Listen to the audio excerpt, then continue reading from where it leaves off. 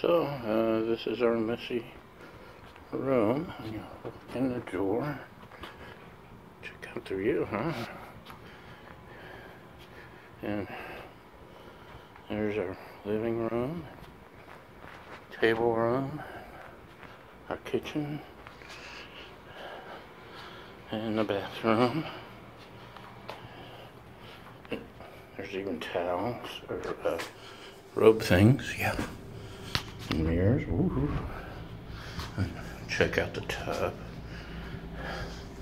Separate shower. Separate water closet with a phone in case, you know, I need to make an emergency phone call while you're on the John. The bedroom. Another TV. Another towel robe thing. And, uh,